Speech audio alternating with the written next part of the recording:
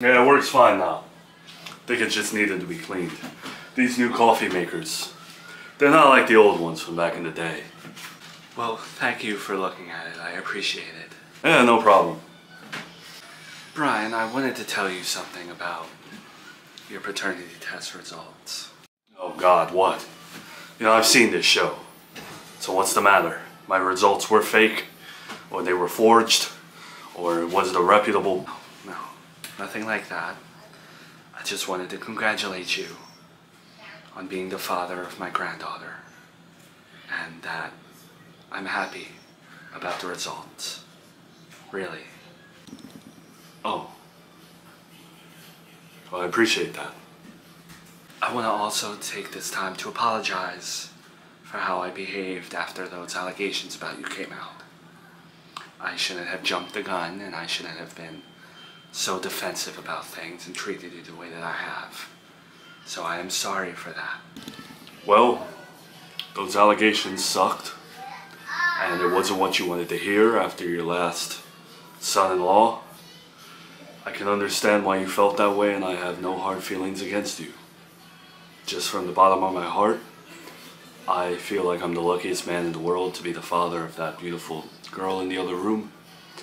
And I am the luckiest man to be in your daughter's life. And I don't take that for granted.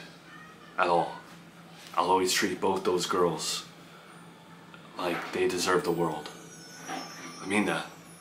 I know that you doubted being the father for a long time, for the whole pregnancy, and I know it's a weight off your shoulders. So if you want me to watch Charlotte and Junior, and you and Miranda can go celebrate the results, I'm happy to do that. Uh, I appreciate the offer, but there's something trashy about celebrating paternity test results, just in my opinion.